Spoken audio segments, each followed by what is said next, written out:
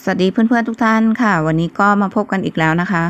วันนี้จะเป็นเรื่องเกี่ยวกับแอปไลน์นะคะ เดี๋ยวคลิปนี้เรามาดูวิธีการ ลบข้อมูลขยะในไลน์ข้อมูลไม่หายนะคะ รวมถึงสามารถเพิ่มพื้นที่ว่างให้กับโทรศัพท์ของเราได้ค่ะอ่าเดี๋ยวเราไปดูวิธีการกันเลยค่ะ เข้ามาที่แอปไลน์นะคะ คลิกเข้าไปเลยค่ะ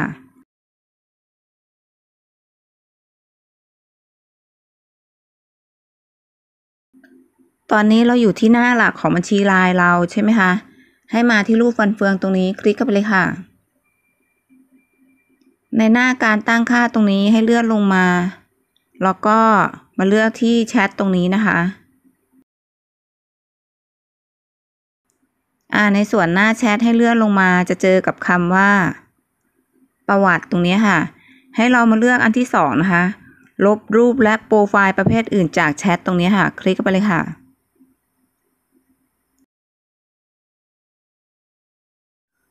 อ่า ในส่วนนี้ระบบก็จะแจ้งว่า ในกรณีที่ไฟล์นั้นหมดเวลาเก็บรักษาบนเซิร์ฟเวอร์แล้ว การลบไฟล์จะทำให้คุณไม่สามารถเข้าถึงไฟล์ได้อีก ซึ่งรวมถึงรูปวิดีโอและข้อความเสียงต่างๆ ต้องการลบไฟล์หรือไม่ ตรงนี้จะเป็นการลบไฟล์ที่หมดอายุนะคะ ซึ่งปกติแล้วพวกไฟล์รูปภาพหรือว่าไฟล์ต่างๆอะค่ะ PDF หรือไฟล์งานต่างๆ ที่เราส่งให้กับเพื่อนเนี่ยค่ะ เขาจะมีอายุ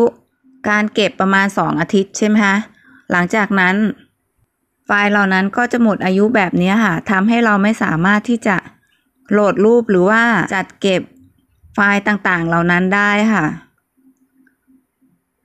ดังนั้นวิธีการนี้ค่ะ จะเป็นวิธีการที่เราลบไฟล์ต่างๆ พวกนี้ค่ะ ที่หมดอายุแล้ว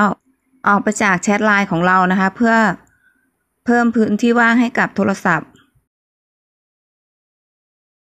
ก็ให้เรามากดที่ลบตรงนี้เลยนะคะ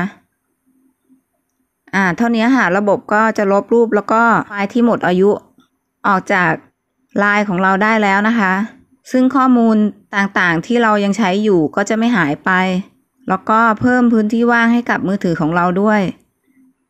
เดี๋ยวเรามาดูกันนะคะว่าช่วงแรกก่อนที่ยังไม่ลบข้อมูลไฟล์ขยะออกจากในแอปไลน์ค่ะ ของปุ้ยข้อมูลก็จะอยู่ที่ 1.75 ใช่ไหมคะ พอเราลบออกแล้ว เนี่ยค่ะ ข้อมูลไฟล์ขยะเหล่านั้นค่ะ ก็จะถูกลบไป ก็สำหรับเพื่อนๆคนไหนที่มีข้อมูลเหล่านี้ค่ะ เยอะมากแล้วเป็นไฟล์ขยะก็สามารถที่จะลบได้เยอะเหมือนกันนะคะเพื่อนๆก็ลองนำไปใช้ดูนะคะ การลบไฟล์ขยะทิ้ง แล้วก็เพิ่มพื้นที่ว่างให้กับโทรศัพท์ของเรา คลิปนี้ก็ขอจบเพียงเท่านี้นะคะ เดี๋ยวยังไงพบกันใหม่สำหรับคลิปหน้า เกี่ยวกับมือถือแล้วก็แอปพลิเคชันต่างๆ